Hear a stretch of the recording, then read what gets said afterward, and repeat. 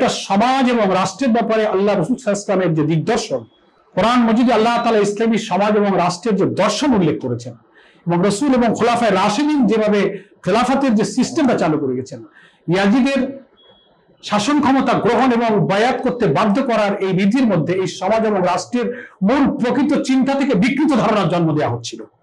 এই বিকৃত ধারণাটাকে প্রতিরোধ করাটা ইমাম হোসাইন রাহু তিনি দায়িত্ব মনে করেছিলেন। জনগণের মতামত, পরামর্শের ভিত্তিতে ইসলামী খেলাফত হবে।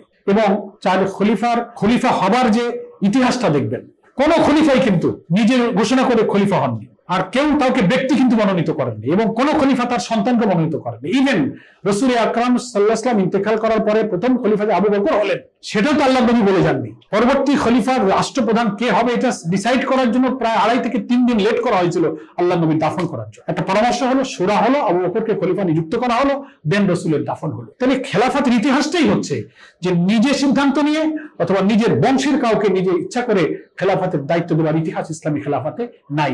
এটা রসুলের আদর্শের অনুষ্ঠিত পথ নয়। ইমাম হোসাইন দেখেছিলেন যে পদ্ধতিতে এটা করা হয়েছে, এটা আল্লাহ রসুলের অনুষ্ঠিত পথ নয়। রাষ্ট্র এবং সমাজ গঠনে ইসলামের যে কর্মপন্থা, সেই মূল চিন্তা থেকে বিকৃত পন্থা ইসলামিস্ট হয়ে যাবে যদি এটার প্রতিবাদ না করা হয়। ব্যক্তি হোসাইনকে খলিফা হইতে হবে নট দ্যাট কুফারা বাসে আমন্ত্রণ জানিয়েছে, এটা ঠিক আছে। কি হইতো সেটা পরের কথা। কিন্তু ওনার মূল কনসেপশনটা হচ্ছে যে এই বিকৃত একটা দর্শন ইসলামের সমাজে যদি আজকে ইসলামিস্ট হয়ে যায়, আর আমি এটা বেঁচে থাকতে রসুলের সহবতে তার বহিত্র হিসেবে এটা যদি প্রতিবাদ আমি না করি, তো যুগ যুগান্তর ধরে ভবিষ্যৎ প্রজন্ম গোটা উন্নত এই ভুল মেসেজ পেয়ে যাবে। যে ইমাম হোসেন বেঁচে থাকতেই তো এটা ইসলামিস্ট হয়ে গেছে, ফলে এটা বোধ হয় জায়জ আছে। সেজন্য খেলাফতি ব্যবস্থা মনুকিয়ার যে গ্রহণযোগ্য নয়, রাজতন্ত্র, রাজার ছেলে রাজা হবে। পরামর্শ ছাড়া যাকে ইচ্ছা তাকে ক্ষমতায় বসিয়ে দেবো, যেটাকে ফ্যাসিবাদ বলা হয়, যেটাকে স্বৈরাচারী বলা হয়। অত্যাচারী শাসকের ক্ষমতায় যাওয়ার এই প্রভিশনটাকে রুদ্ধ করাটাকে ইমাম হোসাইন রাজি আল্লাহ তালা আনহু কিন্তু তার দায়িত্ব মনে করে তিনি কিন্তু এই ঝুঁকি নিয়ে কিন্তু রওনা হয়েছিলেন। এবং অনেকে বলছেন স্কলারদের মুখে, আমি তো শুনে অবাক হই, তারা বলেন যে তিনি মদিনা থেকে পালিয়ে চলে গিয়েছেন গভীর কাউকে না বলে। আলোচনা করে অনেক আলোচনা হয়েছে, উনি ওখানে বয়াত নিতে চাননি, তারপরে সেখান থেকে তিনি মক্কায় চলে এসেছেন ওমরা করার জন্য ওমরা করে ওখান থেকে তিনি কুফায় রওনা হয়েছে পথে লোক পাঠিয়েছেন। তাহলে প্রথম মেসেজ হচ্ছে যে তিনি নিজে নেতা হওয়ার জন্য এই শাহাদাত, এই রক্ত, এই নিষ্ঠুর হত্যাকাণ্ডের মুখোমুখি হননি অভিযানে যাননি।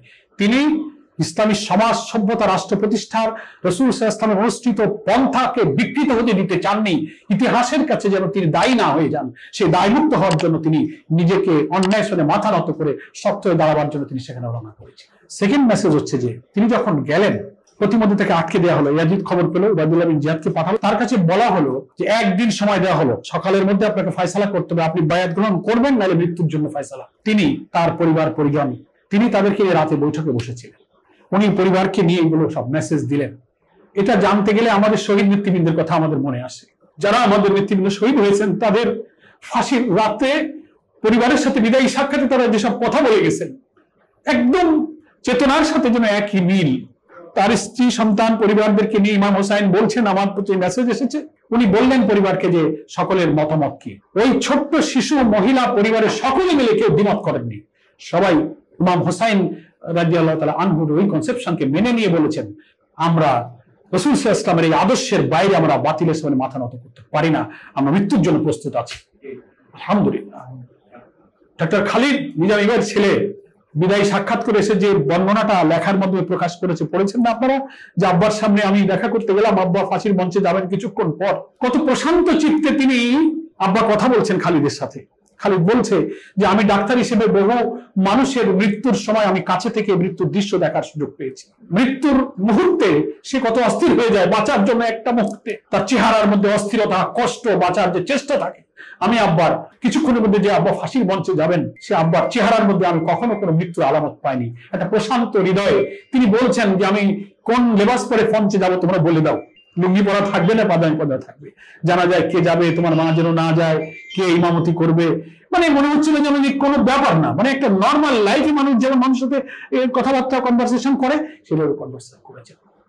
এবং তিনি দীর্ঘ সময় ধরে মুজাহিদ ভাই তার পরিবারের সাথে ভাবে কথা বলেছেন। কামরুজ্জামান ভাই বলেছেন, সব নেতৃবৃন্দেই পরিবারের সাথে বিদায়ী সাক্ষাতে সকলকে প্রশান্ত। মোল্লা ভাই, প্রথম আমাদের এই পাঁচজনের মধ্যে যিনি শহীদ হলেন হ্যাঁ দ্রুত হাঁটছেন। কারারক্ষীরা বলছেন যে, ধরে নিয়ে টেনে নিয়ে যাওয়া লাগে আর উনি ছুটছেন আগে, তার পিছনে হেঁটে পারে না। যে আল্লাহর সাথে চলে যাব দ্রুত তো আমার, আমাকে নিতে হবে কেন? দ্রুত আগ্রহের সাথে উনি চলে যাচ্ছেন। ইমাম হুসাইন রাজিউল আহ পরিবারের সাথে যখন পরামর্শে বসছেন, গোটা পরিবার ঐক্যমত হয়ে সিদ্ধান্ত নিলেন যে আমরা ইসলামের এই মৌলিক কর্মপন্থা এবং নীতি থেকে বিচ্যুত হতে পারি না, উম্মত চিরজীবন বিভ্রান্ত হবে, দায় আমাদের আমরা মাথা নত করব না। হয় এটা মানতে হবে, নাহলে আমরা শহীদ হওয়ার ফয়সালা করলাম। আলহামদুলিল্লাহ। এটা আমাদের দ্বিতীয় মেসেজ ইসলামের মৌলিক নীতিমালা, ইসলামের মৌলিক বিষয়ে, আদর্শের ব্যাপারে। সেটা রক্ষা করা জীবনের চেয়ে বেশি মূল্যবান। এটা হুমায়ুন হোসাইন কারবালার প্রান্তরে নিষ্ঠুরভাবে শাহাদাত বরণ করে সেই প্রমাণ দিয়ে গিয়েছেন তার সঙ্গী সাথে। এখন আমরা তো এক সেই ফ্যাসিবাদী শাসকের অধীনে আজকে অত্যাচারিত মজলুম। জনগণের ভোটাধিকার হরণ করে যারা ক্ষমতায় আসে, এরাও তো ওই আদর্শের অনুসারী। যারা জনগণের তোয়াক্কা না করে, পরামর্শ না করে আমার ছেলের উপরে খেলাফত হবে, এটার নামই হচ্ছে কিন্তু রাজতন্ত্র, মুলুকিয়াত, ফ্যাসিবাদ, জবরদস্তি করে ক্ষমতায় যাওয়া। রসুল ইমাম হাসান হুসাইনকে ভালোবেসেছেন, তাদেরকে জান্নাতি বলেছেন। হাদিসের মধ্যে রসুলের বর্ণনা থেকে আবু সাইদ খুদি আওয়াজ করে বলছেন সৈয়দুল শাবাব আহলিল জান্নাহ। জান্নাতের মধ্যে তিনি হচ্ছেন যুবকদের সর্দার। ফলে আল্লাহর নবীর এই সাহাবি এবং দহিত্ব যে জান্নাত তো কোনো সন্দেহ আমাদের নাই। ফলে তিনি যে ভূমিকাটা পালন করছেন সেটাই সঠিক যে মানুষের মধ্যে ধারণা, যেটা আজকে আমাদের সমাজের মধ্যে, কিছু লোকের মধ্যে একটা সেকুলার ধারণা, শুধু নামাজ পূজা করো হজ জাকাত করো সৎকা জাকাত ফেতরা দাও, ব্যক্তিগত জীবনে ধর্ম পালন করো দ্যাট ইজ ইসলাম। কিন্তু ইমাম হোসাইন সেটাও রক্ত দিয়ে প্রমাণ করছে, না, ওটা ইসলাম না। তাহলে তো আল্লাহর নবীর এই সাহাবি, এই প্রিয় দৌহিত্র মদিনাতে বসে জিকির, আজকার তাহাজুদ ইবাদত, বন্দেগী তসবি তা নিয়ে তার তো কোনো কমতি ছিল না। এত মূল্যবান জীবন, এত আদর্শ আগের দুনিয়ার, এত আরামের জায়গা ছেড়ে দিতে মৃত্যুর সিদ্ধান্ত কেন নিলেন? তিনি বুঝেছিলেন যে না, ওটাই শুধু ইসলাম নয়, রাষ্ট্রে আল্লাহর দিন কায়েম করতে হয়। রাষ্ট্রে কোরআনের বিধান এবং খেলাফতের বিধান খলাফায় রাশেদার স্বর্ণোজ্জ্বল যুগকে তুলে ধরে জাতির নিরাপত্তা, মুক্তির, শান্তির জন্য আদর্শ সমাজ করতে হয়। এটাও ইসলাম এটি হচ্ছে আসল ইসলাম। যে ব্যাপারে আল্লাহ তালা কোরআনে বলেছেন নাকিমুদ্দিন ওলা তাতাফাররা কুফি দিনকে কায়েম করো, তোমরা বিচ্ছিন্ন হয়ে না। এই দিন কায়েমের ফরজিয়ত যেটা, ফরিজা একামাতের দিনটা ইমাম হোসাইন উপলব্ধি করেছিলেন বলেই তিনি কিন্তু ব্যক্তিগত জীবনে ধর্ম পালনই যদি ইসলাম হতো, তো ইমাম হোসেন ঝুঁকি নিতে যেতেন না। উনি যেতেন ওনা আমার আল্লাহ, আমার নবী তো যেতেন না। নবীর চেয়ে বড় বুজুর্গ তো আর কেউ নাই। তো মসজিদে নবী আর মসজিদে হারামে বসে আল্লাহ বিল্লাহ জিকির আসকার তসবি তাহাজুতে কেউ না ঠেকাইতো। কাফেরা তো কইছিল, এই কাম তুমি করো। রাষ্ট্রে এই কামে তুমি আইসো না। কিন্তু রসুলের আদর্শের সাথে তো কন্ট্রাডিক্ট করেছিল। ফলে এটাও আমাদের আর একটা থার্ড লেসন যে যারা মুসলিম সমাজের মধ্যে বিভ্রান্ত তৈরি করেন, যে রাষ্ট্রের সাথে ইসলামের কোনো সম্পর্ক নেই আশুরা এই শিক্ষা আমাদের দিচ্ছে মহরমের কারবালা মর্মান্তিক ইতিহাস যে ব্যক্তিগত জীবনে ধর্ম পালনটাই ইসলাম নয়। Islam is the complete and balanced code of life যেটা আল্লাহ তালা কোরআনে বলেছেন, আকমালতু লাকুম দীনাকুম। এটা একটা মোকাম্মেল নিজামে হায়াত, এটা পরিপূর্ণ সমাজ, রাষ্ট্র, অর্থনীতি, ব্যবসা judiciary education family every sector of my life এটা আল্লাহ তালা বলছেন, আমি সব দিয়েছি। তুমি কিছু অংশে তাজুদ পড়বা বুজুর্গ হবা, কোরআন পড়ে বলবা যে না, আমি সারা রাত, শেষ রাতে তাহাজুদ পড়ি আর এটা পড়ি আল্লাহর ইচ্ছার পরে আমি আইসি আল্লাহ ইচ্ছায় চলে যাব। এটা বলে মুসলিমদেরকে বিভ্রান্ত করার কোনো সুযোগ নেই। আল্লাহ তালা তো কোরআনে বলেছেন, আফা তো মিনোনা বিবাহ আদিল কিতাব? অর্থাৎ শুনুন বিবাহ তোমরা কি আমার কেতাবের কিছু অংশকে মানবে আর কিছু অংশ অস্বীকার করবে? তো এটা কিছু অংশকে অস্বীকার করেই হলো। ঘরের মধ্যে ইসলাম থাকবে মসজিদ থাকবে, রাষ্ট্র সমাজে ওখানে শয়তান আর দুষ্কৃতের বাতিল তাগুতকে অন্যকে রব বানিয়ে আমরা আনুগত্য করব। ইমাম হুসাইন রাজুর শাহাদাত সেই শিক্ষা আমাদের দিচ্ছে যে তিনি জীবন দিয়ে এটা বরদাস্ত করেননি। ধর্মকে ব্যক্তিগত পর্যায়ে রেখে দিতে হবে, এটা ইসলাম নয়। ইসলাম সমাজ এবং রাষ্ট্রে প্রতিষ্ঠিত হওয়ার জন্য এসেছে। লিউজে হেরাহু আল্লাহ দিন ইকুয়ালি কথার অর্থটা কি? আর যত দিন, আর যত মতবাদ, আর যত আইডিওলজি ওটির উপরে এই দিনকে জাহির করো প্রচার প্রসার করো। ইমাম হুসাইন সেটা প্রসার করার জন্য জীবন দিতে গিয়েছিলেন। আর একটা কথা বলি, সেটা হচ্ছে শাহাদাতের তামান্না। এটা তো সবচেয়ে বড় শিক্ষা। জীবনের মায়া তিনি করেননি। পুত্র, পরিজন, সন্তান, কি হবে আমার বেঁচে থাকলে? এই আনন্দের বাজার, এই দুনিয়ার স্ত্রী, সন্তান, পিতা, মাতা, ভাই, বোন নিয়ে সুখ, স্বাচ্ছন্দ্যের স্বপ্ন কার না ভালো লাগে? কিন্তু সবকিছু তার কাছে তুচ্ছ হয়ে গেল। জামাত ইসলামী ইসলামী ছাত্র শিবির আমাদেরকে তো এই চেতনায় উদ্বুদ্ধ করে। শাহাদাতের তামান্না আমরা এই মহরম এবং আশুরার শিক্ষা থেকে কিন্তু পাই। রসুল নিজে রক্ত দিয়েছেন এবং ইমাম হুসাইন কারবালার ময়দানে রক্ত দিয়ে শাহাদাতের যে আকাঙ্ক্ষা উন্মতের জন্য হাদিয়া করে গেছেন, আমরা তারই সার্থক উত্তরসূরি। ফলে আমরা যে জমিনে জন্মেছি, আমরা বিশ্বাস করি, মুসলিম সংখ্যাগরিষ্ঠ আমাদের প্রিয় জন এই বাংলাদেশে তো মুসলমানের প্রাণের কামনা হচ্ছে আল্লাহ দিন, আমাদের রাষ্ট্রীয় ব্যবস্থা হোক। কিন্তু ফ্যাসিবাদী অত্যাচারী শাসক, রাজনীতি, পুলিশের ক্ষমতা, মিডিয়া অর্থ প্রশাসনকে ব্যবহার করে মুসলমানদের এই চিন্তা চেতনা এবং ন্যায় ইনসাফ ভিত্তিক সমাজ যারা প্রতিষ্ঠা করতে চায়, তাদেরকে বিপদগামী করে, জোর করে তারা ক্ষমতায় ফলে এটা থাকবে না, ইনশাআল্লাহ।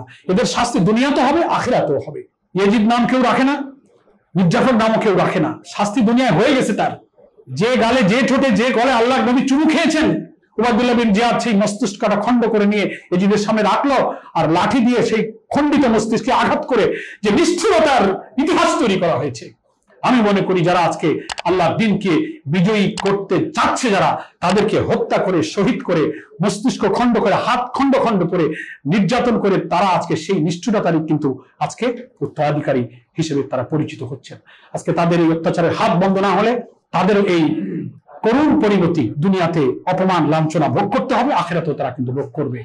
ফলে আমরা মনে করি, আমাদের এই মিশন, আমাদের এই কাফেলা, আমাদের অভিযাত্রা কেউ রুখতে পারবে না। এটা একটা অপ্রতিরোধ, অদম্য একটা কাফেলা। আমাদের এই চেতনার মধ্যে মৃত্যুর কোনো ভয় থাকে না। কারণ আমার আমরা যাদের উত্তরসূরি, আমাদের যারা পূর্বসূরি, তারা মৃত্যুকে পরোয়া করে না। আদর্শের জন্য তারা জীবন দিয়েছে।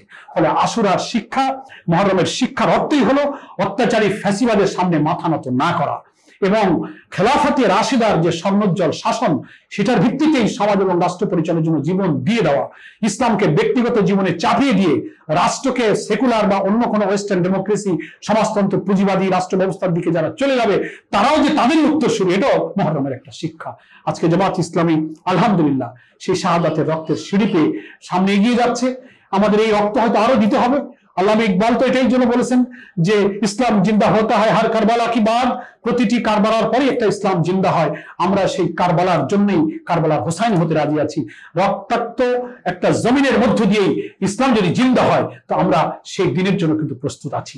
ইনশাআল্লাহ বাংলাদেশে জামাত ইসলামী সেই পরীক্ষা দিচ্ছে। ইনশাল্লাহ আমাদের এই অন্ধকার দূরীভূত হবে। আমাদের সফলতা এবং সম্ভাবনার সেই সোনালী সকাল আবার আমাদের সামনে উদিত হবে। কারবানার এই শিক্ষা থেকে আমাদের সুসংগঠিত হয়ে আজকে ঢাকা মহানগরী দক্ষিণের যারাই আজকে আপনারা হাজির আছেন, আপনাদের মাধ্যমে জনশক্তির কাছে আমাদের এটি হচ্ছে মেসেজ যে কারবালা এবং আশুরা এবং মহরম যাই বলি আমাদেরকে শিক্ষা দিচ্ছে যে আদর্শের সংগ্রাম থেকে মাথা নত করা যাবে না। বাতিলের সাথে আপোষ করা মহরমের শিক্ষা নয়। আদর্শের জন্য মাথা উঁচু করে দাঁড়িয়ে থেকে, দুনিয়া থেকে আমার জীবনকে তুচ্ছ মনে করি, ইমানকে বড় মনে করা, এটাই মহরমের শিক্ষা।